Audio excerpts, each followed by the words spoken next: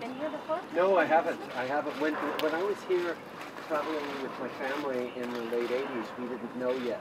Great, great grandmother.